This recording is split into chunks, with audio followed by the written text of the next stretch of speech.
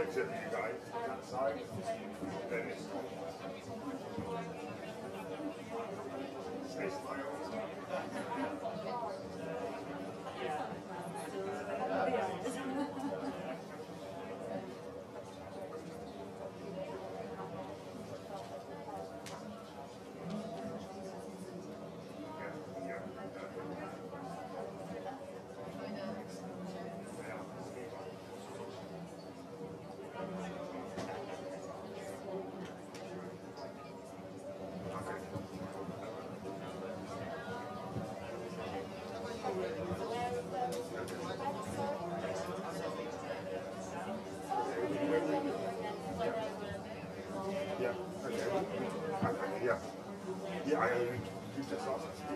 Okay, hello. Hello, everyone. We're going to start straight on time now. Um, welcome to this session. I'm Anna Pirani, the head of the Working Group 1 uh, Technical Support Unit. So we've just presented the Working Group 1 report to COP, so that was exciting. So this is sort of on the fly coming out of that session. Um, I'm co-facilitating this with Jan Fuglestvedt, who's online. Uh, he's in Norway and he's a Working Group 1 vice chair. And so the session is called Democratizing Climate Science, and we'll hear about how climate model emulators add robustness and relevance to the IPCC assessment, uh, focusing in particular on this sixth assessment. So I'm going to hand over to, uh, well, just to say very briefly, we're going to have a very exciting uh, full session.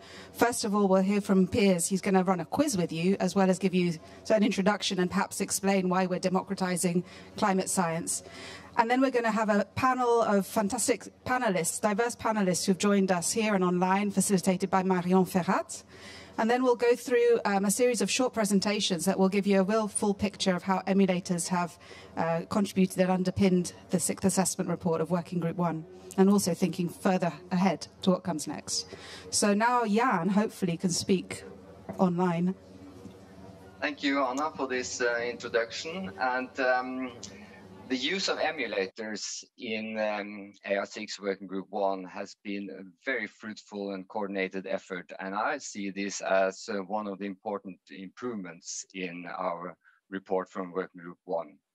It has improved integration and consistency within the chapters, across the chapters in the report, and towards other communities and other working groups. And as Anna pointed out, we have a great panel here and uh, a great list of presentations. So by that, I say over to you, Piers. Thanks. Yes, well, okay, look at this. So, can we go forward to the next slide, please? Or do I do it with this now? Okay, good. Yeah, so what we're talking about is really the kind of, kind of, of way these two Nobel Prizes connect. I'm eating, I'm eating some hints, I just swallow them. Having a mint. Sorry, yeah. So, so, so this is really exciting because part of the reason why the IPCC got a Nobel Peace Prize is intimately connected to the Nobel Prize in kind of physics. It had just been awarded.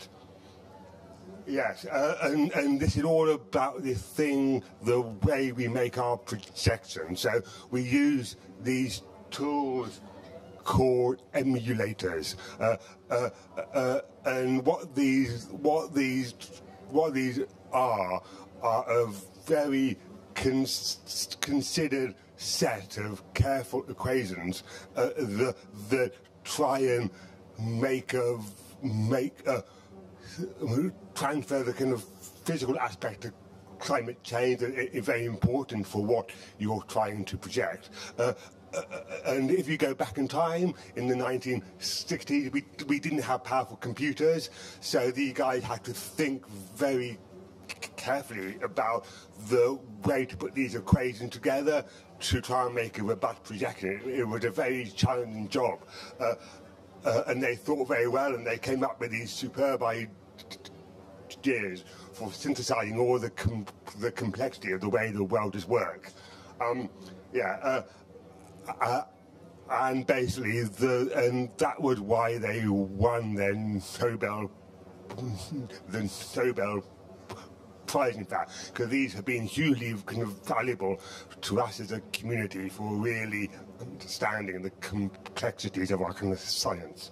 Uh, and we are, uh, uh, and the, the reason they are so special for what we're doing today in the IPCC report, and it's incredible that we have really sophisticated computers today that run on big, powerful computers, and these complex Earth system mm, mm, mm, models.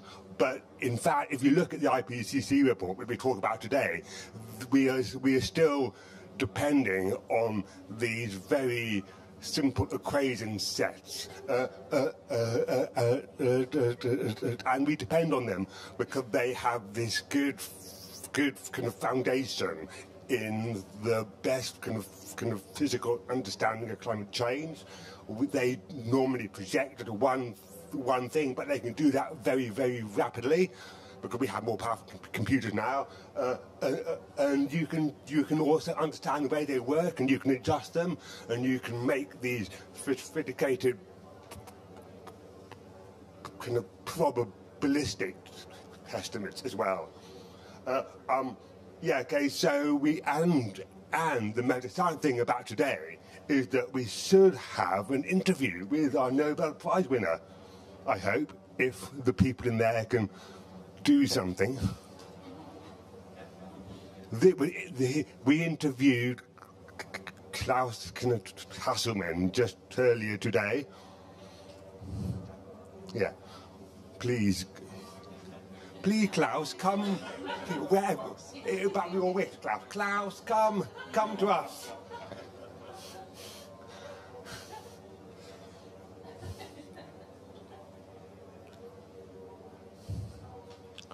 This is anticipation. He's come all the way from Germany.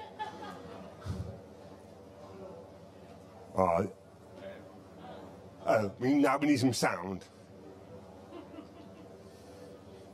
Hi, Klaus. Um, we're talking to the audience at COP right now, and particularly Piers Forster, a colleague from Leeds. So we should say hi, Piers. Um, and Piers, Go on in class, a great fan of your work, as all of us have. And so uh, the first thing we wanted to ask you is the thing that everyone asks you, is how does it feel to be a Nobel Prize winner? I'm very surprised. Uh, I think I'll wake up tomorrow and find it's not true anyway. So oh, that would be terrible. Um, so, um, although the good part would be if we woke up tomorrow and found out that global warming wasn't true as well. Um, but that would be. Uh, so Piers, in the IPCC, they used these simple two-layer models to kind of fit the response of the much more complicated GCMs. And some of this work, actually much of this work goes back to your sort of linear response theory for global warming and the cold start. And so Piers was interested in what your views are on the role of simple models to understand something as complex as the Earth. I think the simple models normally capture the amazing, main thing that's happening. And you can have more detailed models that look at the detailed structure of certain uh, ge ge ge geographical regions. But I think the basic principle of what is happening can be explained very well with simple models. Yeah. So that's the task to the audience of COP is to um, to see what we learn from the simple models because the they best embody our, our thinking in a way, the simple models, our concepts. Yeah, I think a lot of people don't realize you're, for people watching, they should go back and read your cold start papers because they're really influential in, in, in how we're interpreting this mess of output we get from very complex models. Mm -hmm. So um, the last question I wanted to give you a chance to, to pine in on, to, to give your view on is, um, you get to speak to COP. Do you have a message for them? Is there anything that you would um, COP, the COP, the, the Conference of Parties at uh, the the UNFCCC for the climate change? The meeting well, I think if you simply listen to what scientists have been saying for 30 years or 40 years, so uh, it's not, not, nothing new. Uh, the fact that climate is changing is a slow process and we have plenty of time to react. And I think that's the main problem, that people are not used to reacting to a long-term challenge. And uh, realize that you have to change something now for something which is happening in the, in the uh, further future is something foreign to most uh, policymakers. And uh, so I think uh, the challenge for scientists is to bring this message across that we have something we have to do now to respond to something that will happen in uh, several decades. And this separation of timescales is something uh, which is difficult for the policymaker to accept.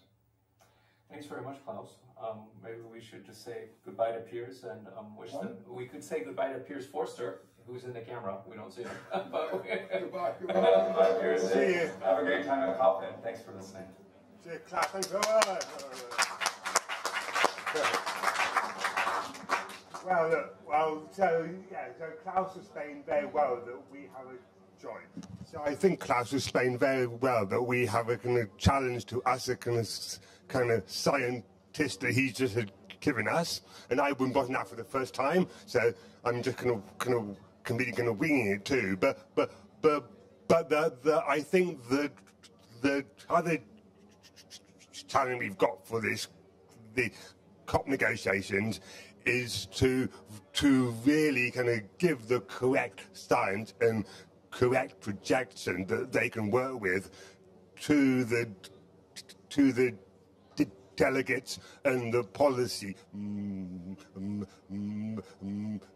makers that are doing the negotiations. And we have we have kind of kind of four of them here today, uh, and I'm going to introduce um, Harry and from the United Nations Sustainability Development Program. He's a senior advisor there, and he will introduce the policy makers, uh, and, and, and basically they're also going to can challenge us as scientists to try and provide them with the information that they want. So over to you. Yes, I, I, I, I just think you ought to. I think just start talking. Yep, yep, this works. Super, thank you very much, Piers, and good afternoon, and welcome everybody here in the Science Pavilion and, and everybody watching online to, to this panel discussion. Um, so I'm Marion Ferrat. Uh, I'm a senior policy expert at the United Nations Sustainable Development Solutions Network. There I really focus on, on analyzing policies related to the transformation of, of food and land use systems and uh, mitigation from, from agriculture and land use. But uh, this, uh, this event this afternoon, this whole event is really go going to dive into the nitty gritty of IPCC climate projections and the models that underpin them. But first, I think it's really important to, to take a step back and ask the question of, you know, who is actually using these, these projections and how do they inform policymaking and policymakers and what are the different stakeholder needs? You know, what, are, what do people want to know from these IPCC projections and, and these IPCC models? So to, to answer this question and to dive more into user needs, I'm, I'm delighted to introduce our panel this afternoon. So first we have Rueanna Haynes, who is a specialist in international climate law and governance. She's got over a decade of experience in UN climate processes, including being a, a diplomat for Trinidad and Tobago, negotiating for the Caribbean Community and the Alliance of Small Island States, AOSIS and she's currently Senior Legal Advisor at Climate Analytics and Director of the Climate Anal Analytics Caribbean Office in Trinidad and Tobago.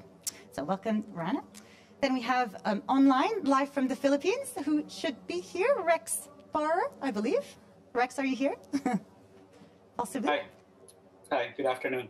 Yes. Hi, good afternoon, Rex. Yeah. Sorry, we, we, can't see you, but we can hear you. Um, so you are an environmental scientist who has worked at the interface between environmental conservation, climate change, sustainable development, and resource sustainability. Rex has over 20 years of experience um, across environmental and industrial roles in both profit and not-profit organizations across the world. And he's currently a senior associate for climate, for climate governance at ICSC, which is the Institute for Climate and Sustainable Cities. And then finally, we have Andy Jarvis, who is an Associate Director General for Research, Strategy and Innovation at the Alliance of Bioversity and the International Center for Tropical Agriculture, based in Cali in Colombia. He's been working on scientific research in developing countries for over 20 years to support the goals of alleviating poverty and ensuring sustainable food systems. And his research focuses on spatial analysis and environmental models to address um, the challenges of climate change, biodiversity loss, environmental degradation, and malnutrition. So welcome to, to all our panelists. And it's great because we have, you know, three different uh, perspectives. You've all worked across different sectors in different regions of the world. Oh, hi, we've finally got your ex. Um, So really, my first question to, to you all is, could you tell us a little bit about, about your roles, about your, your jobs, and about how you have used and how you use IPCC evidence of projections in your work, and what sort of information you're trying to, to get out of them? So maybe we'll go in the same running order as the introduction. So Rueanna, if you want to start, and then Rex, and then Andy. Okay, sure, I'll start. Uh, can you hear me? Great. Um, first of all, let me say it's, it's a real pleasure to be here. I just sort of ran out of the negotiation rooms to come to this, so um, I will have to leave a little early, my apologies, but I'm really happy to be here and share with you all. In terms of um, my work and how, how I use the science, well, I guess the first thing I will say is that when we did the first periodic review of the long-term temperature goal, I was the AOSIS lead negotiator in that process, and that was really my first introduction to climate science in a very substantive way. It was a two-year process where essentially we sat with the authors and co-authors of IPCC, um, AR4 it would have been at the time, maybe AR5, I can't remember, and um, AR4 probably. And so we sat with them and we went through in great granular detail um, their work and the implications for their work on helping us as policymakers to be able to understand the crucial difference in impacts between an increase in average global temperature of 2 degrees Celsius as opposed to 1.5 degrees Celsius. So that was my first real experience with IPCC science, and I guess it was kind of like being thrown in at the deep end. Um, but since then, um, since then, of course, we've had the special report on one and a half degrees Celsius, and I was um, fortunate enough to be a part of the process there when we were agreeing on the uh, summary for policymakers for that report, which is where I'm at Piers. And um, I guess um, on the whole, in terms of my work as an advisor to small island developing states in the negotiations, uh, we're really focused on, I guess from, from a negotiation point of view, we're focused on being able to understand or get very clear messages out of the science. And so leading into the review process, uh, one of the things that we were deeply concerned about was basically the lack of data on a one and a half degree Celsius pathway and what that would look like. At the time, you know, now I think we have more, is it RCPs? I don't think you call it RCPs anymore. That's the other thing with the science, it's always evolving. So at the time it was representative concentration pathways, but I, I, think you've moved beyond that. But we didn't really have any of those um, pathways that would get us onto a one and a half degrees Celsius trajectory. And so you know, in the process of the review, we were really focused on, and part of the reason why we called for the special report on one and a half degrees Celsius was be able to, to be able to generate that type of information, because of course, it would give us as policymakers um, a more concrete understanding of what needs to be done in order to ensure that parties can come forward with more ambitious NDCs it's, it's a very difficult argument to make that parties should be trying to come forward with more ambitious NDCs, that we should be trying to stay within a one and a half degrees limit, uh, if, if we can't point to what are the actions that will get us there. And so that's really, from a SIDS point of view, um, what we've been trying to get out of the science uh, in that sense when we think about projections in particular. Um, and so it's been very useful now to see that there's a lot more specificity. I mean, looking at the special report on one and a half degrees, which is now more or less confirmed in the context of the working group one report, um, the idea that we actually need to have emissions, uh, that is very, very, very specific and it's very useful and it's been sort of a key talking point in how we understand what we have to do within this decade, how we understand what we have to do out to 2050, and it's provided that leverage to be used in the discussions to allow countries to be able to increase their ambition. Um, I'll say one last thing, one other side of this as well has to do with um, our own national situation and circumstances. And coming from a SIDS perspective, of course, I'm speaking about adaptation and loss and damage and you know being able to get that regional specificity when it comes to the projected impacts in particular um, is one of the things that, that we're also usually quite highly concerned about when it comes to the science. So thank you. Thank you very much, Rueanna. And maybe I'll pass over to, to Rex next. Yeah. Yeah, uh, good afternoon, everyone. Um, I'll uh, just add to that very briefly. Uh, like uh, like it was mentioned, I oversee the climate governance program at ICSC, and part of our work uh, in the program involves establishing the scientific data and projections to bridge and help evaluate the likely effects uh, of policy prescriptions or recommendations. Uh, just to cite an example, um, what is key would be the likely influence of projections to both mitigation targets or adaptation priorities, uh, whether this will would have uh, an effect nationally or locally, uh, given possible dif- differences of impacts and what uh, will be the long-term course of action based on either existing laws or bills that are being discussed in the Philippine uh, legislative uh, branch of government.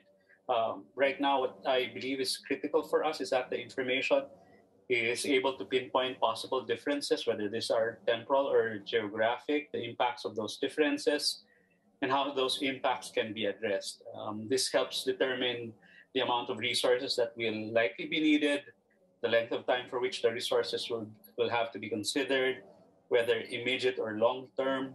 And this is especially true again, given that the Philippines is one of the most uh, vulnerable, vulnerable countries to climate change impacts whether these are extreme weather events or slow uh, onset events such as typhoons, hurricanes, droughts, uh, heat waves, uh, sea level rise, or ocean acidification.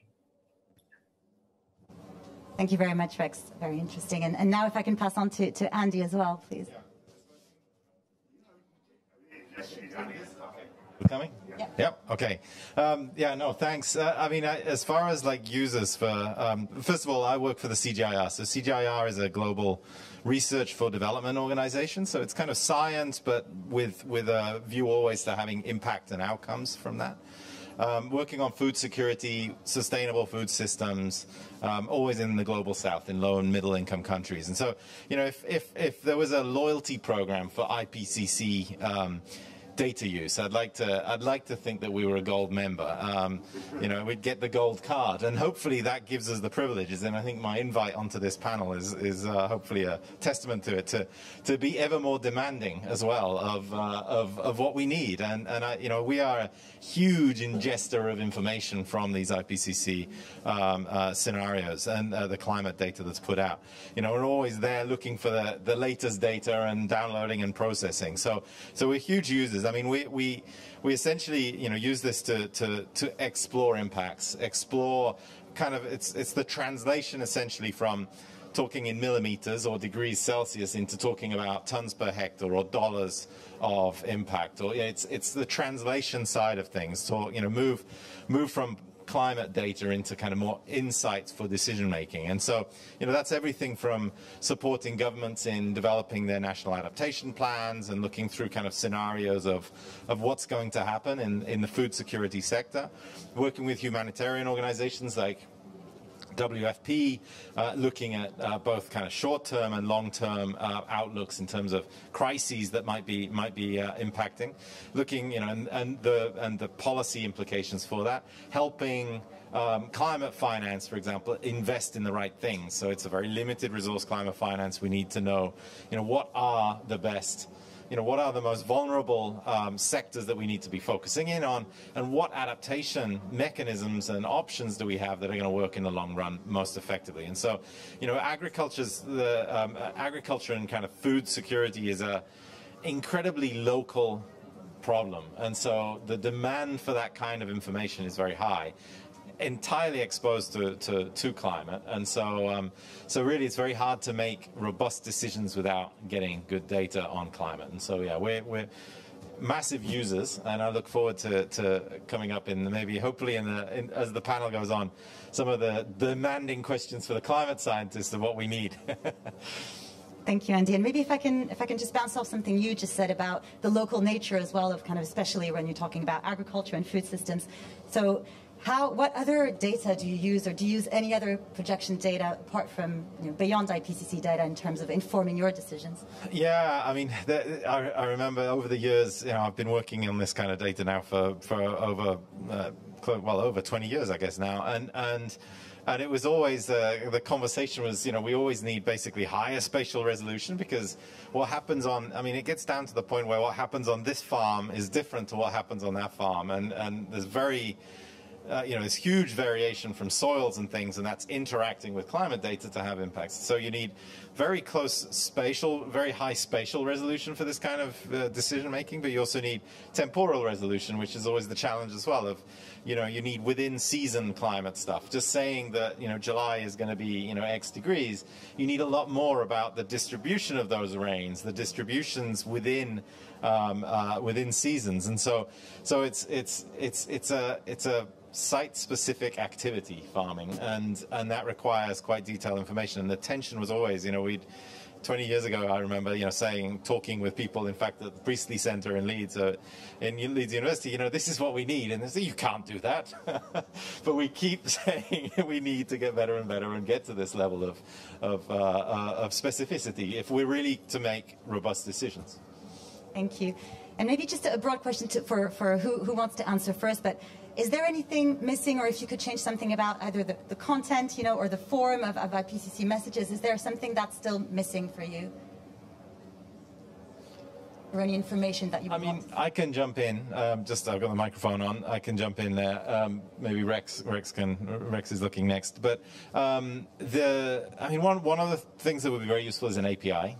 And so being able to call up that data and not just check, you know, having to go to the website, download, reprocess, and so on. APIs is going to be um, uh, hugely useful. So making the data more accessible in that respect. But, but um, uh, you know, I think the the direction, what we need more and more is is this distributional data and, and, and issues of with extreme extreme events variability rather than you know I think we've nailed the long-term scenarios and obviously we get better and better and that's good but from our perspective, yeah, it's it's it's only changing the result of the analysis. You know, in it's it's small tweaks. Let's say it's incremental now at that stage.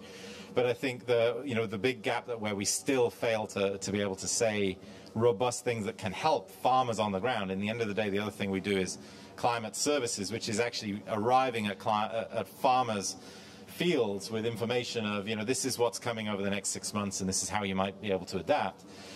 That's really putting the, the current data um, to, to the test. So we use some uh, IPCC, but also our Cordex data for that, and, and we just need more and more and more. We need to get better and better at that stuff. That's really critical. You know, as the, the world's moved on beyond thinking of 2050 and the problems, it's really thinking about how do we get through the next. You know, for most farmers, how do we get through the, through the next season? And so that's a that's a whole new demand where we see a lot more need. Thank you. And, and, and Rex, it seemed like you wanted to come in there as well. You know, just just to quickly add, um, um, probably there's there's there's a need to disaggregate the data in terms of uh, being able to differentiate uh, adaptation priorities, for example, for the Philippines, as opposed to let's say Indonesia or any of the Southeast Asian countries, or even more precisely, uh, what's happening in the northern Philippines and the, uh, compared to the southern Philippines. Uh, and then adding to that, if the data can be uh, available, for example, to people in those different areas, allow the uh, technical nature to be translated, very used and used uh, uh, with the help of public information or education, for example. It's easier for us to work with uh, the provincial, the city, or the municipal governments. And at the moment, sometimes the technical nature of the data can be daunting and really does not garner attention, especially in our culture that uh, has a large population that has a presence in social media, for example which in fact can be used to uh, democratize access. Thank you. And, and Rueanna, in terms of yeah, advising advising different governments and actually be, being a delegate, is there anything else, or, or, do you do you agree with what's been said so far about the need for less technical and or more um, accessible data as well and finer grid? Takes a minute. Yeah. Takes a second. Thank you. Thank you. Um, Hello. Yeah, no, I would, I would definitely agree. I would definitely agree with um, with the comments that have been made with regard to the need for more disaggregated data. I mean, that's always necessary, especially dealing with very small countries, I mean small island states, you look at a world map and most times you can't even see us. We get left out a lot, a lot, a lot. Um, so, you know, having access to data that is disaggregated to the point where we can actually, at the regional level, we can ac actually understand what's going to happen in our more specific context um, is very, very useful. And even looking within SIDS regions, there's a high level of variability as well, even within the regions. So the more specific we can get, it, it will always only be better. Thank you very much. And, and I think we're, we're coming near the, the end of the panel, but maybe just to summarize really quickly, and, and thank you to the, thanks to the three of you for, for all your comments. So, so I think in terms of all the positive things and, and you know, what, what you use on a daily basis would be the fact that there's much more specificity now, um, that, you know, you're able to provide much more leverage as well because you're getting much more, much more data and information. You're able to, to set priorities now in terms of supporting policymaking that there are improvement, improvements in terms of actually looking at local effects and exploring impacts. Uh, long-term scenarios are pretty much nailed now, or you know, uh, getting there. But uh, we really need more robust information on what's on the ground, what the decisions need to be done now. Maybe a little bit more coherence and and uh, and sometimes a bit of a technical data that could be that could be simplified uh, a little bit. Does that does that cover most of what what was said? I mean, I would just, I would just add. I mean, maybe uh, you know, I said we've we've nailed the long-term scenarios. They're a lot better now, but there's still areas, you know, in East Africa where we don't know. Is it going to get wetter or is it going to get drier? And you've got, you know, scenarios going off in both directions. And so obviously there's a lot to do to get more robust estimates and understand the physical systems behind that. Um, and hopefully we can get into some of that stuff. I'm looking forward to getting the, the science nerd out on the next uh, the next uh, few few presentations. But there's obviously a lot more work. I mean, that needs to continue. But you know, more and more as well, we need to be thinking about more short-term variability um, uh, questions as well. Brilliant. Well, thank you very much to, to all of the panelists. And I think, do I hand back over to you, Piers? Or to Anna? Yeah. So uh, thank you very much for joining Yeah, us for our I guests. thought that- I'll just carry on, Piers, yeah? So a lot of food for thought, and it'll be interesting in this session to hear about how simple models actually will inform these questions and give us more con- uh, confidence in our future projections. But we'll go all full circle, talking also about regional aspects and access to data. So it's really, you know, coming together perfectly, I'd say. I'm going to hand over to Jan, who will introduce our speakers. Thank you. Uh, thank you, Anna. And uh, I will introduce the first speaker, Joeri Rogelj. He is a lead author in Chapter 5 of uh, the Working Group 1 report, and he was also a coordinating lead author on the scenario chapter in the 1.5 report. And he will talk about how model emulators supported mitigation efforts. So over to you, Joeri, please. Yeah, thank you, Jan, and also from my end, uh, welcome to this session. Um, I was asked to give a kind of a small historic overview of how uh, climate emulators are actually not nothing new, uh, but have been supporting the IPCC and other processes in these negotiations uh, already for, for quite a while.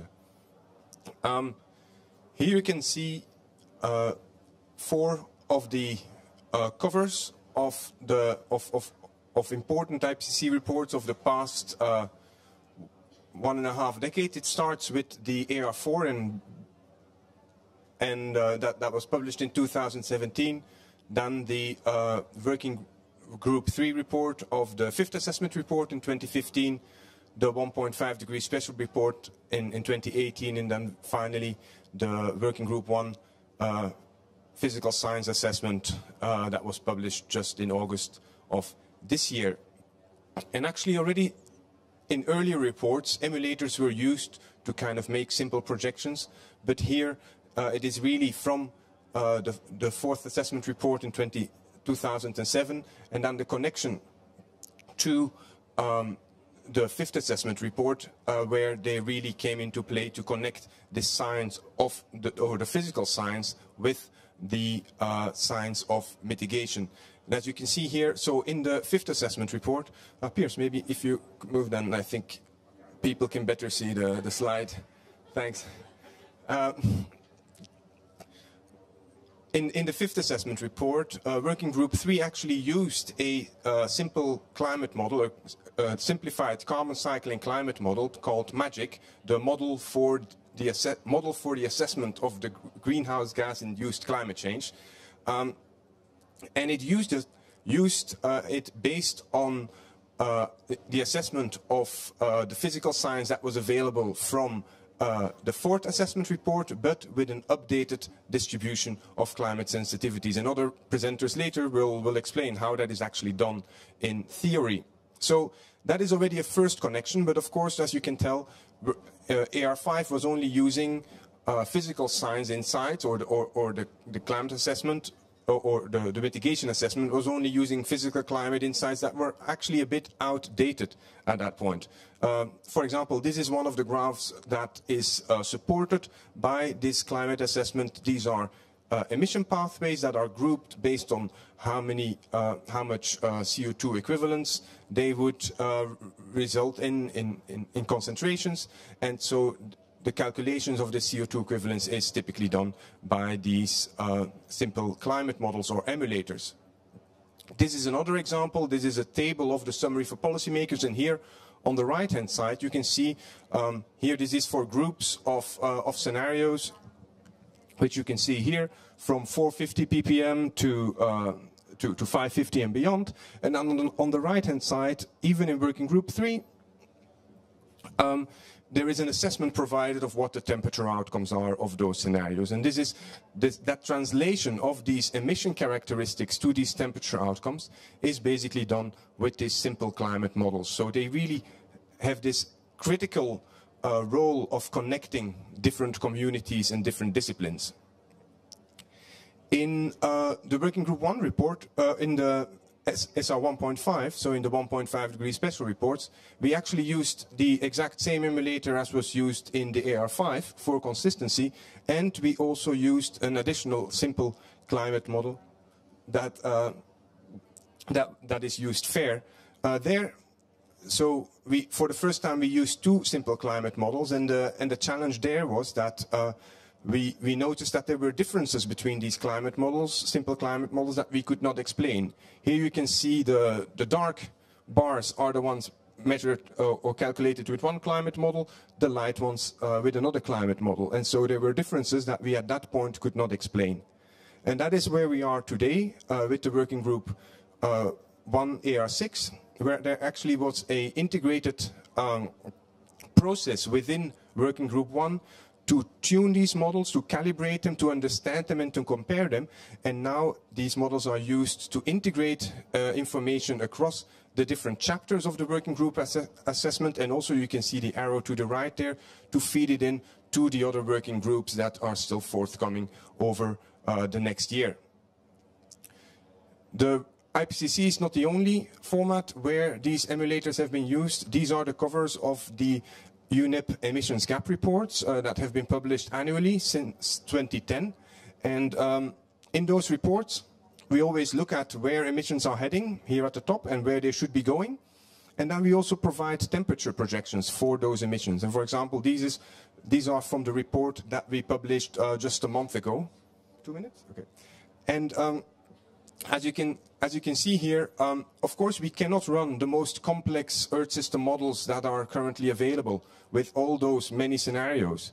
But we, for that, we also use these simple climate models, for, with which we then can say that under current policies, um, we would be we would be limiting warming to 2.8 degrees with 66% uh, probability. If we follow the unconditional pledges, uh, that would be 2.7. And then if we also implemented the net zero targets, I have to highlight these are the net zero targets with a cutoff date from before the COP. So uh, you have you have heard media uh, stories over the past days that have already updated it again with the same kind of tools that can be run really rapidly in response to policy developments. And finally, besides just giving one single number, very importantly, these models can also be used to understand the uncertainty surrounding that projection. And these are um, basically the same projections for two of the scenarios that you saw on the, on the previous slides, but now the distribution. And as you can see here, under, under the unconditional NDCs and the pledges, excluding the net zero targets, we would up roughly with a 50% chance of limiting warming to two and a half, but there is still like a one in five chance that warming actually exceeds 3 degrees. On the right-hand side, you can see a scenario where net zero targets are taken into account, again, not the latest ones, but you can see that there warming is with a 50, the, the median estimate ends up close to 2 degrees, but also there, um, that was me, uh, go back, also there, there is still a 1 in 20 chance that warming actually exceeds uh, 3 degrees, even if we do all these reductions that we actually uh, thought about. Finally, my last slide is a small pitch for a, for a, a report that comes out today um, which is the Zero In report. Uh, this is a report from a EU research consortium that looks at near-term rates of warming. And also here we make uh, use of those emulators to really understand the implications of uh, pledges and emission reductions in the near term for warming until uh, 2040. One question? Please introduce yourself. Hi, uh, Jason Lowe from the Met Office and University of Leeds.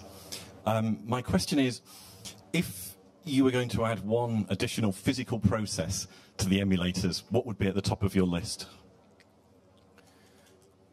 The top of my list would be the improvement of the carbon cycle and the biogeochemical cycles, which uh, are, I think, much, much less advanced in their modeling, or, or at least where also the, the efforts that we have done over the past years within Working Group 1 and the IPCC have shown that there are the biggest gaps to be filled.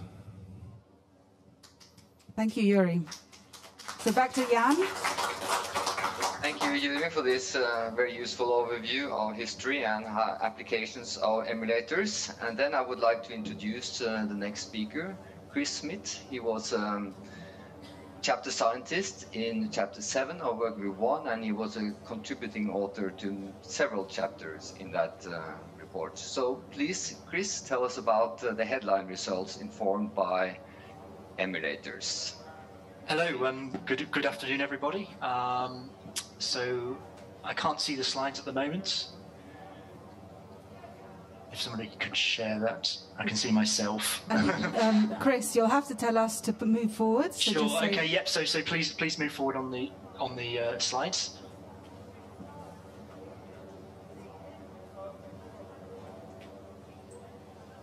Perfect. And then next slide.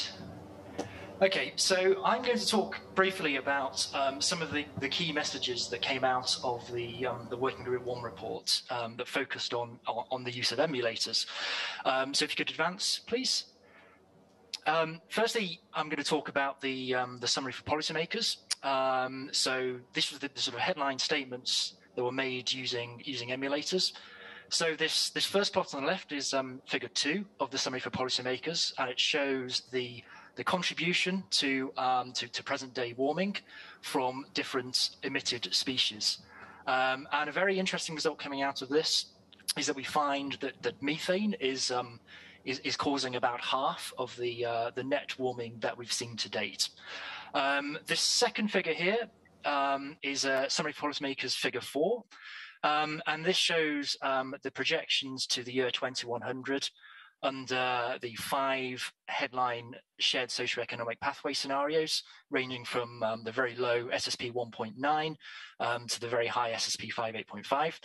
But in all cases, we see um, that um, that CO2 remains the dominant contributor to climate change in all scenarios of the 21st century. So we still really need to focus our efforts on CO2 and, and the ultimate uh, future warming that we see will depend heavily on um, those emissions. And if you could advance, please. Um, and the third uh, main main um, main instance of, of emulator use in the in the SPM was on uh, sea level projections. And uh, this is one area where, firstly, we need we need long scale projections because sea level um, continues to rise um, even after um, after emissions and temperatures stabilised in some cases. And um, secondly, it's it's not always that easy to uh, determine all the components of sea level rise from uh, from climate models as they stand. Um, so we use we use specific emulators uh, relating to different components of sea level, um, such as the um, the thermal expansion that's related to warming and the ice sheet melt, as, as from Greenland, Antarctica, and, and glaciers. Um, so next slide, please. So I'm going to very quickly talk about where, where these results come from. And, and this, this summary for policymakers figure two um, originates in chapter six, which is the chapter on, on short-lived climate pollutants. And um, so the way that we did this is um, we we looked at each uh, every every um, emitted species in isolation, and we we ran simulations where um, those those emissions were included and where they were excluded. And um, these um, these specific emulators were were tuned based on the results from um, from complex climate models. So still um, really important to have um, really good um, Earth system models that we can actually use to develop these uh, these these more simple emulators. But why we need emulators is because we we don't have all possible experiments we might want to look at from the complex models. So there's a very a small subset of experiments, and we we basically fill in the gaps with our with our emulator and then using um, what's called the sort of we call it the chapter seven emulator, but it's, it's a two-layer climate model. So so um, so we've already heard from uh, uh, from from Klaus Hasselmann earlier, um, talking about how how simple um, models can be used to project temperature change, and this is like exactly what's going on here. So we, again, we use a calibrated um, uh, forcing to temperature model to determine the climate outcomes um, from these um, from these scenarios. So if we could um, uh, go to the next slide, please. And then um, this um, this this is this is in support of uh, a statement in the summary for policymakers. And if you could just click next as well. Um, this shows the um, the contributions to observe, observed warming from different categories of um, of, of, climate forces. Um, so again, we have a an, the Chapter Seven emulator, which we compare to to other constrained estimates from the literature. So the, these are the bars um, and we have we have um, net human influence in the kind of orange color. We have the greenhouse gases in grey, and then we have the, the, the other human effects, which is primarily aerosols caused from air pollution. Um, so we can see that we've got this offsetting effect between greenhouse gases and aerosols, um, and we can sort of we can put ranges on on what the, that means for temperature. So we say that um, the greenhouse gases are responsible for somewhere between one and two degrees of warming, and then um, aerosols offset up to 0.8 degrees of that. And we also see from this same um, breakdown that the, the natural influence on the uh, historical warming has been very small.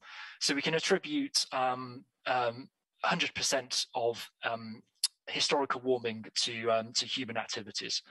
Um, next slide, please. We extend this a little bit for, for, the, for the SPM figure four, where we look at future projections. And in this case, we, we use this, this, this two-layer climate model um, running the, the SSP scenarios. And again, we compare those results to constrained estimates from the literature. And we produce temperature projections um, up to 2100 with those, those, those five SSPs. And we use, um, again, we use a constrained emulator that's, that's, um, that, that's calibrated to the, um, the, the working group one's assessment of uh, specific climate variables, which include uh, climate sensitivity, transient climate response, and the assessment of radiative forcing. And one of the reasons we do this is because if we just use some of the raw climate model projections, um, then we'd end up with um, historical warming that are, that's kind of outside of our hist um, historical observed range. Um, so we need some method to try and um, um, ensure that the, the model projections that we do have are more representative of the, the climate that we've experienced. Um, so I realize I'm, I'm, actually running out of time. So if you skip through the next slide on sea level, because I've already kind of talked about that. And then finally, just a sort of a roundup of what I haven't talked about. Um, so emulators were all over the Working Group 1 report. Um, so they were used in probably about two thirds, three quarters of the chapters. Um, they were used to estimate 1750 to 1850 warming. This is this is a case where we didn't have a particular climate model experiment uh, for this. Um, chapter four, again, we extend beyond 2100, where there, there was not a lot of Earth system results covering that period. And um, we also used it to um, to estimate non-CO2 contributions to carbon budgets, um, to produce um, greenhouse gas equivalent metrics, and to determine regional climate change at various warming thresholds. Um, so in summary, it would have been very difficult to provide all of this uh, policy relevant detail without the assistance of emulators.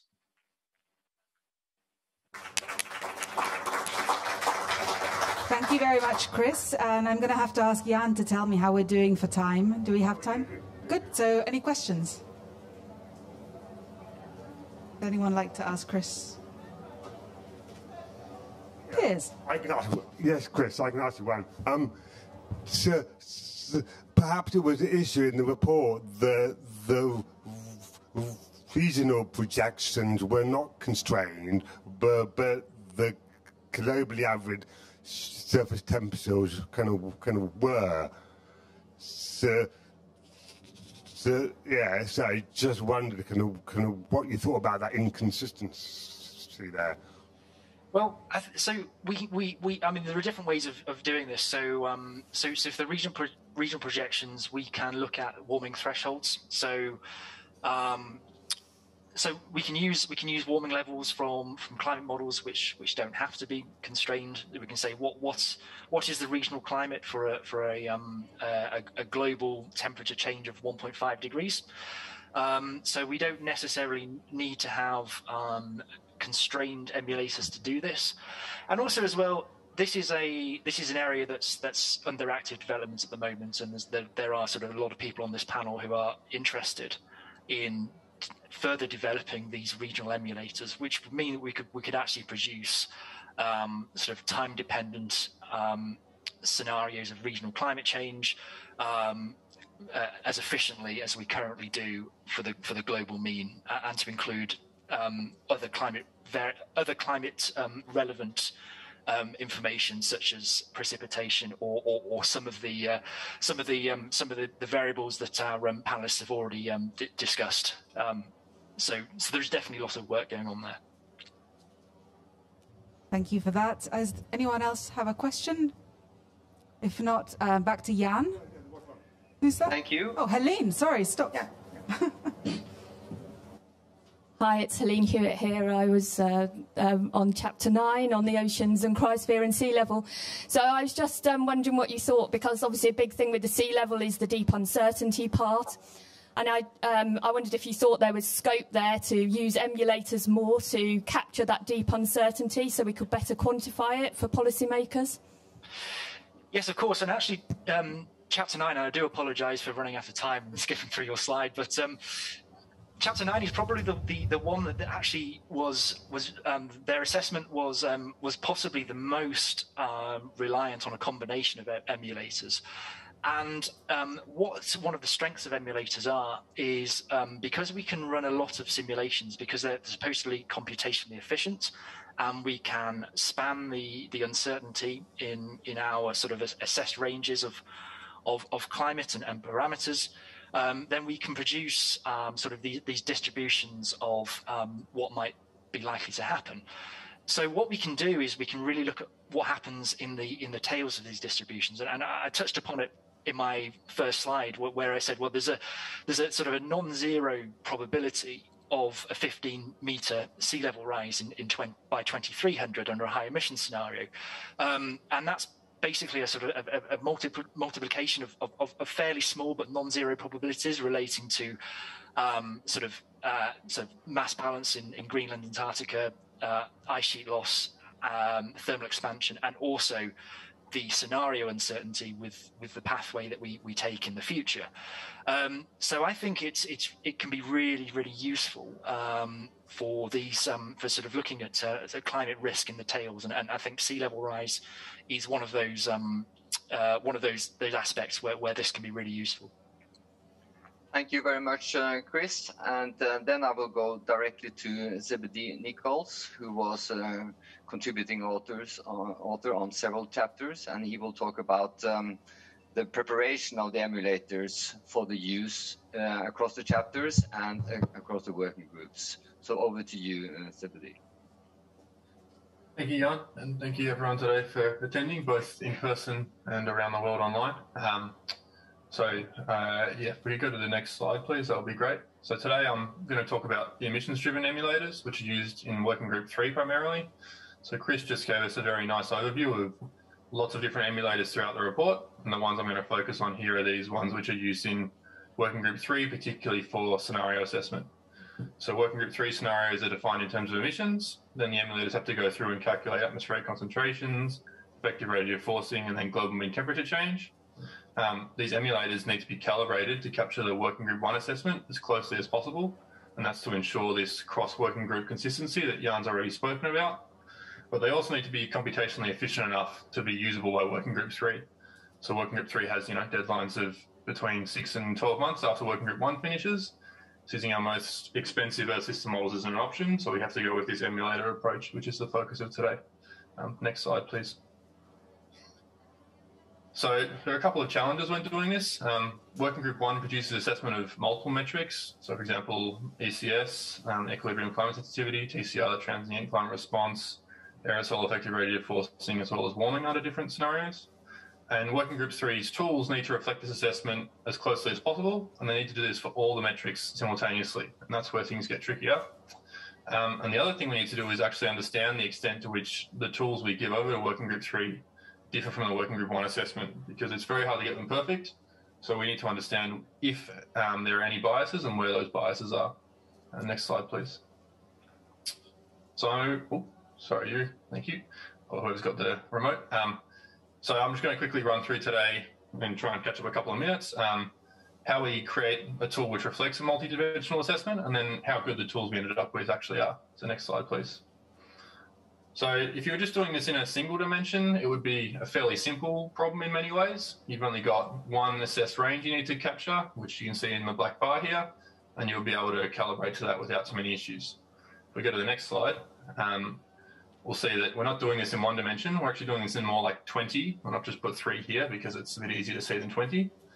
So that's where things get more complicated. We need to do multiple climate system properties at once, and in some cases, changing your emulator's response for one property will affect its response in other properties as well. So getting them all working all at the same time is not an easy thing.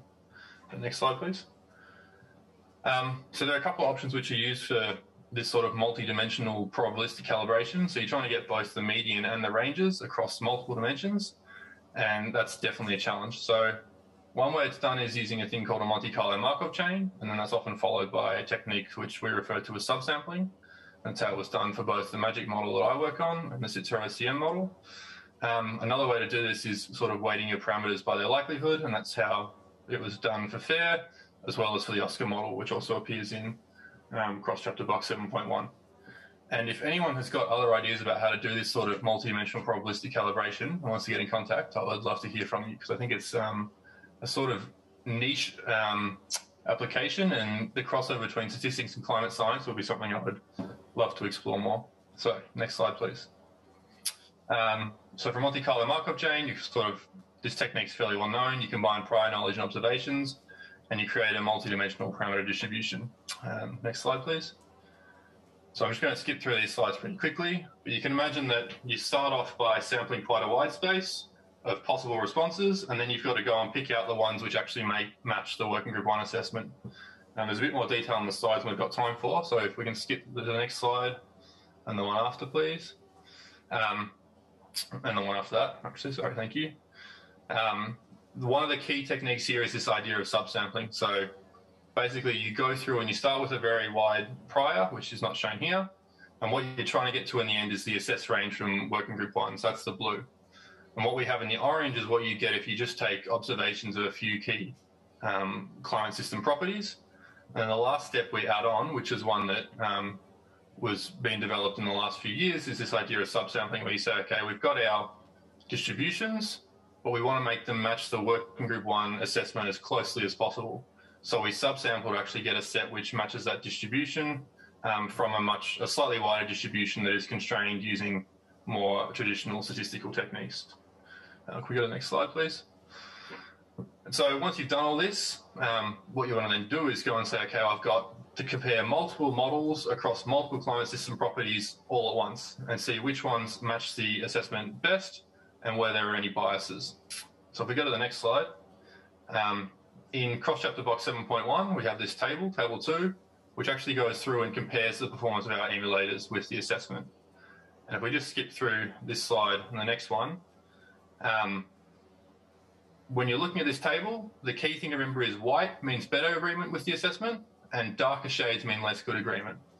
And you'll see for um, on this table, there's actually a remarkable amount of white cells. Given we're doing sort of multi-dimensional probabilistic um, model calibration, where we need to get both the median and the upper and lower ends of the likely ranges um, consistent with the assessment, I've actually was much, much more pleased with what we ended up here than I thought we would get when we started off. given how many um, different things we're trying to get right at once. So if we go to the next slide, um, we've now handed this off to Working Group 3. So they're running scenarios with these calibrated emissions-driven emulators.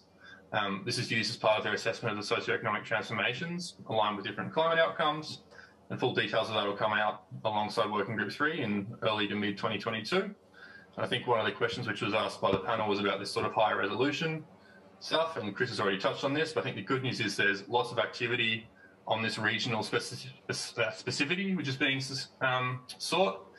The trickier news is that there's obviously lots of research still to be done, especially on the data handling once you produce the sort of data volumes we're talking about here. But I think the final thing to sort of round out my um, good news, bad news sandwich is that the success of emulators in working groups, um, working group one in AR6, give us hope that we can use similar techniques for regional higher um, temporal resolution projections. And I'm looking forward to seeing what Sonia has to say on that subject in the next few minutes. Thank you very much, Chris. And uh, I don't think we have time I for think questions, one- unfortunately. Or Anna? Okay, One, yeah. one, one question. Would anyone like to come in? Peter. It's, it's, it's a it's a bit of a oh hang on it's a bit of a technical question, but you showed in the good news bad news bit that for some parts of your uh, diagram, the emulator was inconsistent or it got worse in some sense. So what does that mean for the overall assessment? What does it mean for working group three if it's using um, you know the imperfection, if you like, the emulator? What does it mean, and, and, and in particular that parameter space where you had your blue boxes? What does that mean for the assessment? Um, so I think the key thing for working group three is a lot of their categorization is done based on warming, and in the warming space, um, for the models they're using, there's actually very good agreement between the emulators and um, the working group one assessment. Obviously, if you have an emulator which is projecting slightly higher temperatures than the working group one assessment, you should be aware of that in the conclusions made by working group three. That you might be applying a slightly more stringent standard than if you had an emulator that perfectly matched working group one. And similarly, if the working group one emulators are slightly cooler, then you need to take that into account as well. But the good news for working group three is that in the warming space, which is their space of major concern, there's um, surprisingly high consistency. And the question, of course, is well, if you go into more detail on effective radiative forcing carbon cycle response, you know, are we getting the right answer for the wrong reason potentially? But that's research for another day. Yeah, thank you. I should say Peter Stott from the Met Office. Forgot to introduce. Again, thank you very much, uh, Zeb, uh, for giving us insights uh, to the preparation of the emulators. Uh, then we move on to Sonia Seneviratne. She was uh, coordinating lead author on uh, chapter 11 of the Working Group 1 report, and she will go beyond what Working Group 1 did and open the regional dimension. Please, Sonia. Yeah, thanks. Uh, so I'm trying to move the slides uh, with OK or yes. Oh, sorry. No, no, I, I'm too. okay. So I will uh, talk about the potential to go beyond Working Group One uh, research. Uh, by using regional emulators and I have a long subtitle about informing adaptation and assessing the realism of mitigation pathways with regional system model emulators want to mention. So I was a coordinating lead author from the chapter 11 on extremes.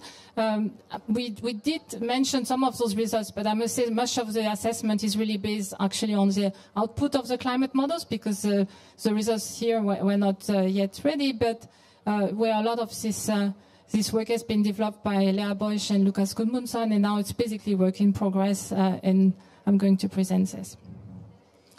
So I wanted to go back to the overall structure of the IPCC assessment. Uh, so we have on the one hand the IPCC Working Group 3, which is mostly based on integrated assessment models. So these are models which are developing basically the scenarios that are used then in the rest uh, of the IPCC reports. They do include some feedback from global temperature, uh, basically with emulator, but mostly based on MAGICC.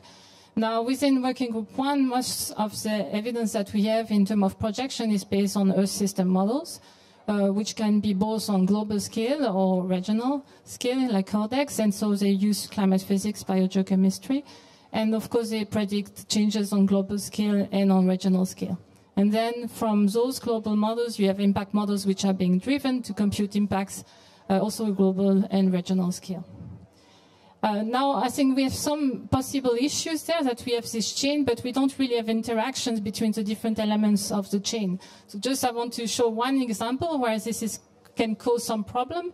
Uh, here I'm showing some uh, projections uh, of changes in land cover fractions in different um, integrated assessment models, where you're looking at the change in forest uh, cover, and you see that some of those IAMs actually are projecting a very large change uh, in uh, forest. So basically, they're assuming that we are planting forests in many locations. So that's a question that you could ask. Are those projected changes in forest consistent with the changes in extremes that are projected in the climate models? So that's why uh, I think it's really important that we have those feedbacks also integrated in terms of what is happening on regional scale. On the one hand, so if you have a regional Earth system emulator, this means that if you have new scenarios, you can very quickly compute also the associated changes in impacts. But on the other hand, you can feedback those changes in regional climate change towards uh, the development of IAMs. And so in the end, also if you have computed changes in impacts, this could also then feed back to the, I, uh, to the IAMs. Just to provide some examples, so uh, again, the forest I, I mentioned before, I mean, you could have more risk of fires in some location, but if you're assuming you're planting forests to take up CO2, actually those forests are not going to grow or survive. But also agriculture is important because uh, there are some, uh, some assumptions about how many people are going to, to be fed and you need to, to have realistic assumptions about how much agriculture land area you need. So basically, uh, these impacts of regional climate change uh, and extremes can be very important to constrain the emission scenarios. So I just really say a few words about uh, what we have been developing in our group. So it's a MESMER regional uh, emulator. And so we have a first paper that was published 2020, as mentioned, this work from Lea Beusch. And so the idea was to create plausible stochastic realization uh, which are geographically resolved and which start from the global temperature. So basically, and I will discuss this afterwards, the input is the global temperature. So this can be coupled to an, a global temperature emulator such as MAGICC or FaIR. That's basically the idea. And so the idea is that you can improve information, for instance, in integrated assessment models, but you could also use this, uh, for instance, to assess impacts. Yeah. And so the main structure is uh, this equation here. Uh, the projected temperature for temperature at any location and time is just a function of the global temperature and then uh, local residual uh, temperature variability. So that's the detail of the model. I don't have time to, to discuss all of it, but really the main point is the, the driving variable is global temperature, and that's, that's a really uh, interesting part. So I'm just showing here some uh, results, for instance, for different Earth system models. Where on the top you see the, the model, and then here we have different realization with emulator. Uh, I couldn't include the, the nice version which is moving over time, but basically you can have a lot of different realizations which look very much similar to what the Earth system model is doing, and we find that the properties are, are statistically satisfying. Yeah. Now, the next step, and that's what uh, Zeb Nicholls was just mentioning before, we have had a collaboration with Zeb and Malte about the coupling of MESMER to, to MAGICC, and that's a paper that is currently in review. And so we basically, uh, again, couple the two. So we, have, we are using the output from the from MESMER, and, for, sorry, from MAGICC in terms of global temperature and putting this as input to MESMER, which means that now we can simulate the whole chain. We, have basic, we can go from the emissions to regional changes in, uh, outputted by MESMER. So I think, my last point. Uh, I'll just come to the conclusions. Um, so regional Earth system model emulators can help bridge a gap between IPCC Working Group 1, Working Group 2, and Working Group 3 science. I think, uh, as mentioned, I don't think we have done much of this in AR6, but maybe that could be some idea for AR7, uh, especially maybe given the, the time frames that we have to work under. I mean, we have to realize we have to develop scenarios, realistic pathways for emissions, when we are saying we have to reach minus 50% by 2030, so we, we, don't have 10 years to figure out what is the best scenario. We have to figure this out in a few years. Um, so the key question I think we need to address at this interface are first the realism of develop emissions and pathways, but also this full integration from emissions to impact. So really that you can start from the emissions and in the end have impacts being computed, but maybe also the reverse chain. So you start from the impacts that, for instance, you say, okay, we can live with those impacts, or that's the maximum impacts we are ready to accept. And then this tells you how much emissions you can have. And of course, to speed up research again in the context of really very quickly evolving climate change. Thank you. Thank you very much. Uh, I um, now do have time for one quick One question. Would anyone like to ask a question? I'm curious what our panelists are thinking watching these talks. But Joeri? Yeah, one question. So Mesmer currently emulates uh, regional temperatures, but we just heard that um, stakeholders are interested in, in precipitation, maybe wind, at, at very uh, at very high temporal resolutions. How far are you from achieving that? Yeah, so basically this is certainly on our plate. So uh, it's actually a project that was funded to, to start working also on extremes. So we have actually now already a first version that is working for temperature extremes.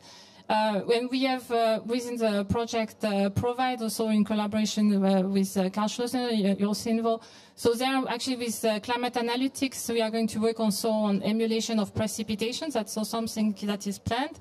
what we expect, again, I mean, this is still being planned. What we see in projections is that a lot of the change in mean climate, but also extremes, scale more or less linearly with global warming. So we expect that this should be possible.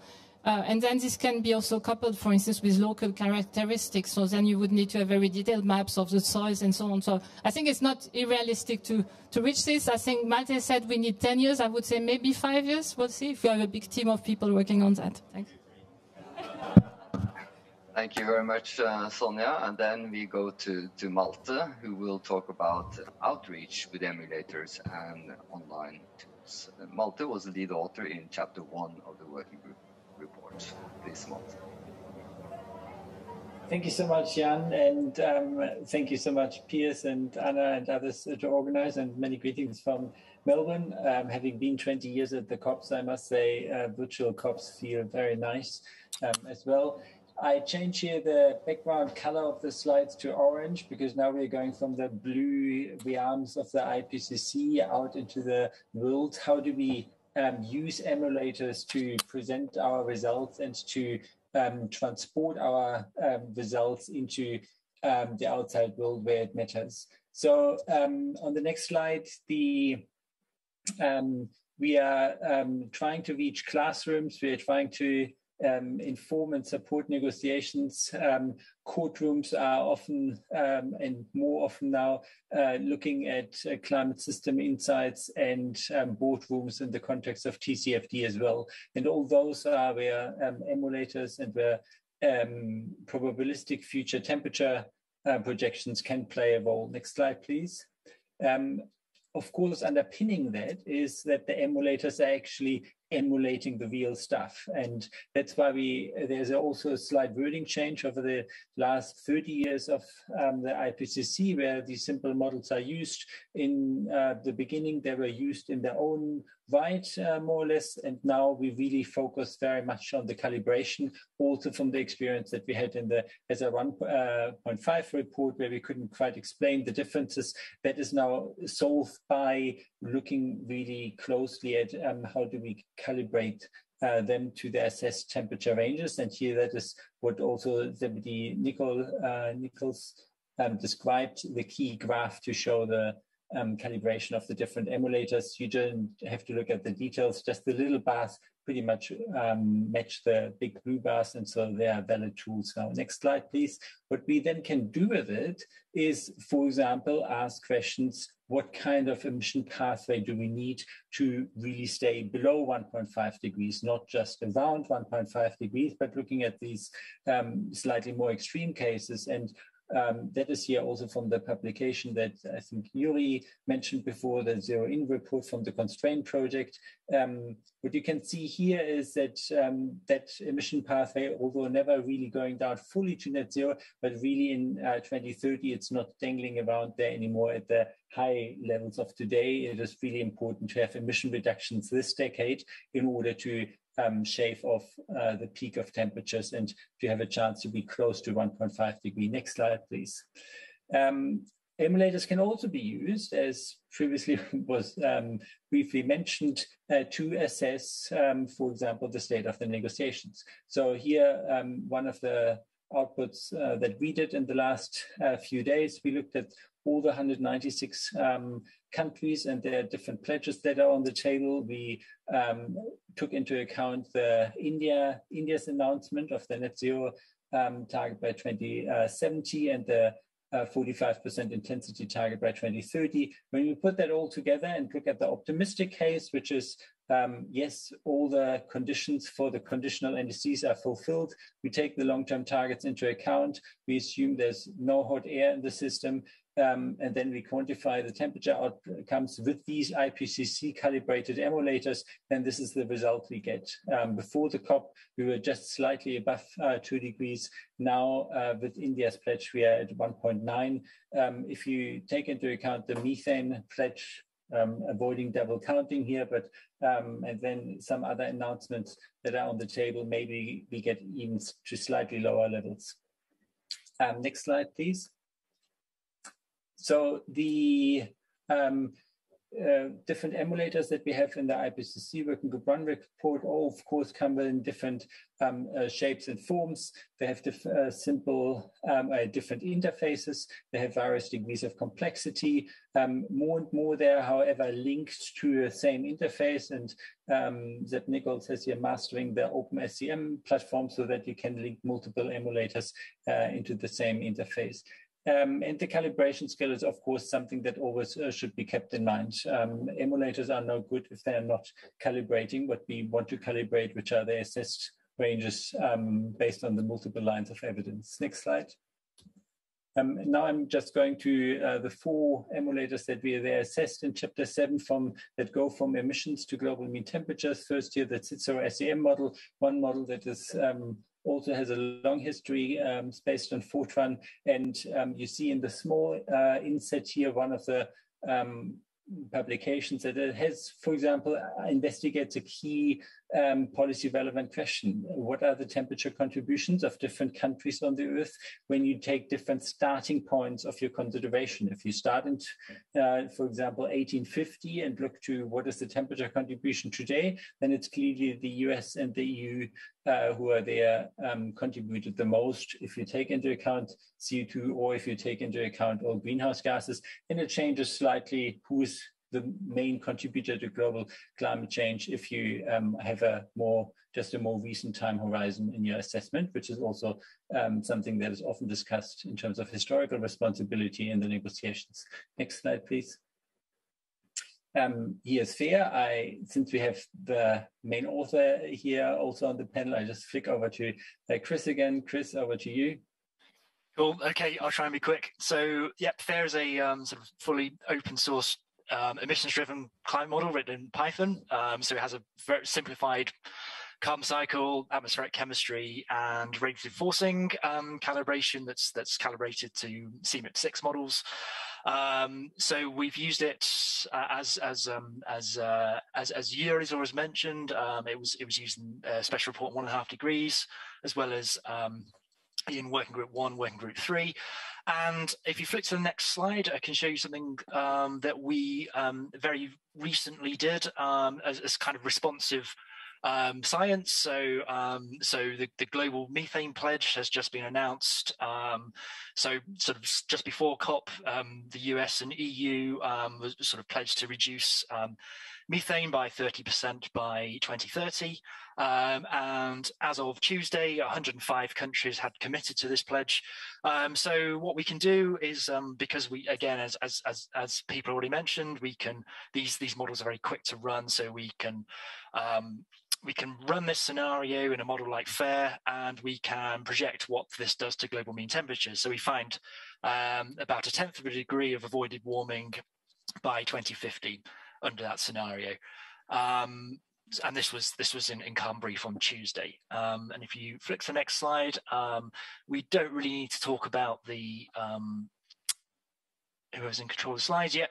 Um, so yeah, we we have this um, this this very simple online version uh, that's currently a, a, bit out of date, but you can you can go to FaIR SCM magic.org and, and have a play with it and, and, and um, see if you can if, if see what, what comes out. And uh, we have full documentation and um, like as an interactive version on, on GitHub as well. Um, so that's the quick roundup of FaIR, and then back to you, uh. Thank you, uh, Chris. Um, and that links um, these online interfaces also link into the title of today's talk, the democratization um, of uh, the science, which is giving access to many more uh, people to run these uh, tools, even if they don't have a software engineering degree. Um, so now just over to MAGICC. MAGICC is probably one of the more oldies, um, has gray hairs, has been around for 30 plus years, um, and it got a little bit of fat. Uh, it's probably uh, one of the larger simple models. It's now 20,000 lines of code or something, but um, it has permafrost, sea level rise, cloud rates, about gas cycles, etc. It's used in the also, for example, in the UNEP report uh, projections that you've seen. It's used uh, by the IEA in its uh, latest World Energy Outlook. Um, it's used um, by the Climate Action Tracker team. It's also fair and it's is used in that translation from Working Group 1 to Working Group 3, and it's also inbuilt into various integrated assessment models, like, for example, image, message, and remind. Um, next slide. Um, and also, if you want to have a play around with it, you can have that IPCC AR6 compatible or calibrated version at the livemagic.org um, website. Um, next slide, just one example here for the outreach. These were the projections, um, just the medians plotted here from the IEA report where the net zero scenario um, from the IEA is shown to basically, um, it's in the one and a half degree scenario, just as much as the lowest SSP 119 scenario of the Working Group 1 report we assessed. Next slide. And then there's Hector. Um, Hector is um, developed in the US at PNNL and is part of the GCAM uh, model. Um, it has a similar structure um, also to the others. Next slide. And um, you can see here um, there are uh, quite a variety of interfaces available for Hector. It's also open source like FaIR, um, has lots of workshops and seminars and tutorials um, and uh, these nice animations here on the side where you see the atmospheric CO2 content and how it changed for the anthropogenic emissions. Also, next slide, um, Hector has a nice interface where you can um, put in your own um, emission scenario. Uh, this interface also comes with um, the advantage of you can go to a regionalization plot, so where you um, have a simple pattern scaling um, approach. So you have the link here at the bottom. Um, now, last slide.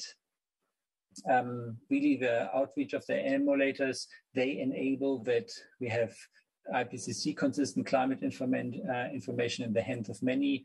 We can um, provide better informed um, uh, yeah, support for the decisions, for example, at the COPs.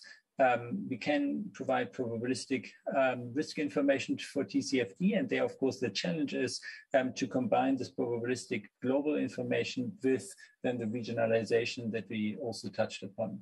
Um, there's capacity transfer inbuilt because of the simplicity and the accessibility of these emulators. And one more click, the future direction of these emulators um, is there uh, we strive to get more detail, even better calibration, and then you know, now you have to do three more clicks, um, smoothen even more the um, intra IPCC consistency, expanding on regional information and extremes and sea level, um, and then the yeah, integration into various decision tools.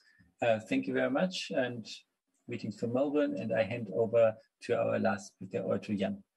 Thank you very much, Malte. And uh, I think we have to move on in the, in the interest of time. And uh, it's a pleasure to introduce uh, the last uh, speaker, Harriet Forster from Glasgow School of Art. And she will tell us about simulating climate impacts of the COVID lockdown.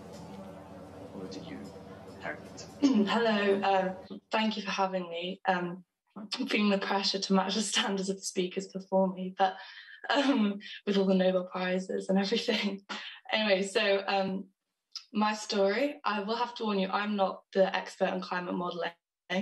that is my dad. And if you have any specific questions at the end, I'm most likely to get him to answer for me. Um, but me, well, I'm a 19 year old art student at Glasgow School of Art. And at the time of the beginning, the beginning of the pandemic, I was an A level student in Yorkshire. My exams were cancelled. And like a lot of young people at the time, I didn't really know what to do. Spending a lot of time with my scientist dad, and naturally we became interested in what the pandemic was doing to our environment. There were things in the news that I'm sure all of you saw, like dolphins being sighted in unusual spots, visibly clear air in cities, and rivers running clean um, instead of brown. I ended up writing an article in my school paper about the big pollution drop in China, but it got me thinking: what was all this cleaning up doing to our climate, to, doing to our wider climate? Uh, next slide, please. So um, Google ended up releasing data on the average location of Android phones to help COVID response. Because they know how many phones are in a certain location at any one time, the data showed us the percentage shift of the population of 125 countries. These shifts Google split into sectors. There was residential, commercial, transport, and industry. We found we could combine these percentage shifts with the EDGAR emissions data from 2018 to estimate the trends in 10 pollutants during lockdown in real time. Strangely, the amount of people in a certain place almost directly correlates with the emissions from that sector. The global average of these changes over 2020 is shown in this chart, and our estimates showed global reductions of up to 20% in some pollutants. We later found our method probably overestimates these trends a little, but really isn't too bad and nearly had instant global coverage. You can go to next slide. We used simple climate model emulator, which my dad coded in Python, to estimate the effects on temperature. There were interesting things going on cooling from reduced contrails and car traffic, but warming from decreased air pollution from less coal burning. But overall, the effects on the temperature were tiny, only a 100th of a degree change. This was disappointing, but also kind of understandable, as even though the changes from the restrictions we were under were absolutely massive, it was just so short term. We then teamed up with Climate Action Tracker to look at how the COVID recovery would make more of a difference. And again, next slide. We looked at the climate response comparing a fossil fuel reco- recovery with moderate and strong green stimulus pathways. The sort of money we're talking about here is, is really tiny compared to what countries have spent on their COVID response at the time. The baseline is the current was the current post COVID 19 rebound policies, which was expecting about 50 to 60 gigatons of CO2 emissions per year until 2030. Our strong green stimulus pathway at the bottom of the slide um, was working in the ballpark um, with like 24 to 27 gigatons of CO2 emissions. This would keep us on track for the 1.5 degrees Paris Agreement, but it would be interesting to see which pathways was um, is being chosen by policymakers. Next slide, please. The figure shows the CO2. This figure shows the CO2 emission pathways we came up with on the left, and then our calculated CO2 concentration and temperature response for different pathways from the emulator. You can see that the emissions reduction from strong green stimulus was enough to keep temperatures below 1.5 degrees. Next slide also shows this. Um, yeah, so this shows that the urgent targeted investment could really change the direction of travel for global temperatures. So you can see the 1.5 degrees of massive drop, and that correlates with the strong green stimulus pathway. It's really worth it, but did countries do this? Next slide, please. Well, this graph from last week's UNEP GAP report shows how the G20 countries stimulated their recoveries through the stimulated their economies through the COVID recovery they did invest in some low carbon measures. However, fossil fuel industries and road building were heavily supported. A pathway in between our projected fossil fuel rebound and weak green stimulus has been implemented. That's 210 billion US dollars invested in non green transport.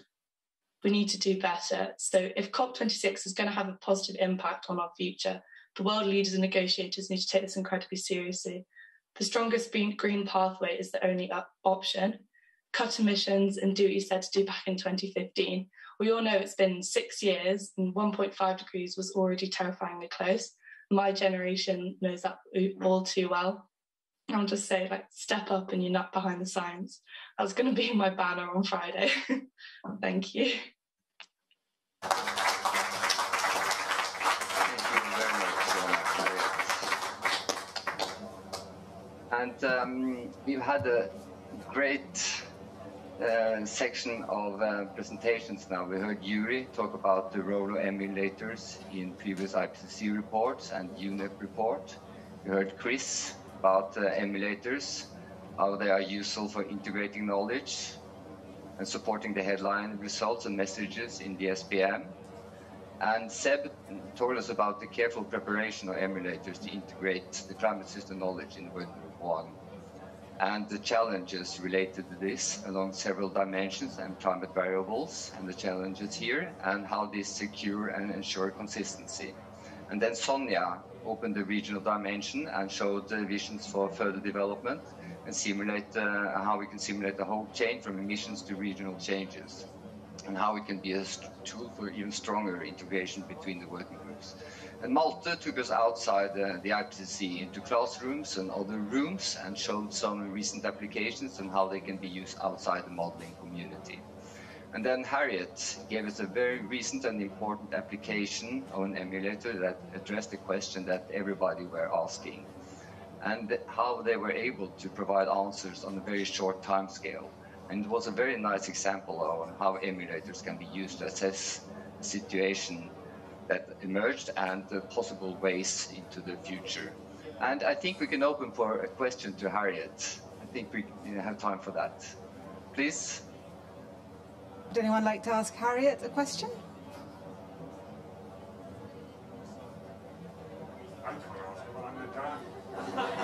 Uh, Marion would like to ask. Thank you very much.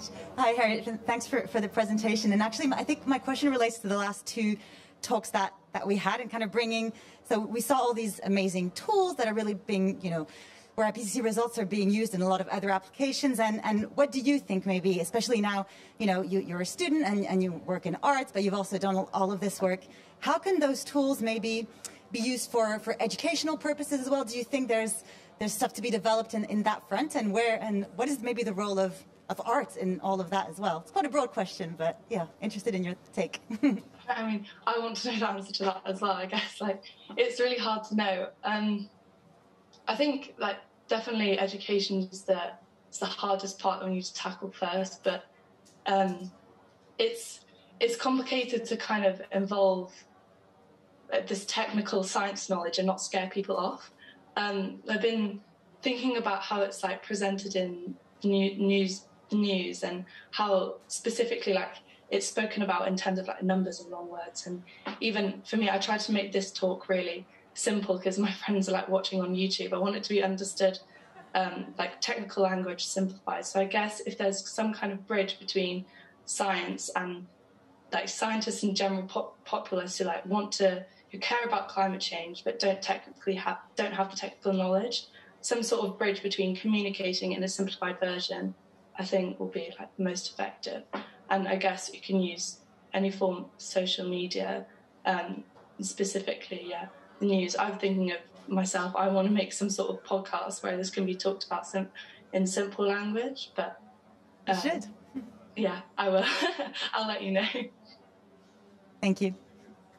Thank you very much. Thank you very much, Harriet, and thanks everyone. And by that, I think we have reached uh, the end of the session. Jan? Uh, Alma and yep. uh, Piers. Jan, I want to come in and ask Piers if you'd like to say a few closing words. Best dad and best professor.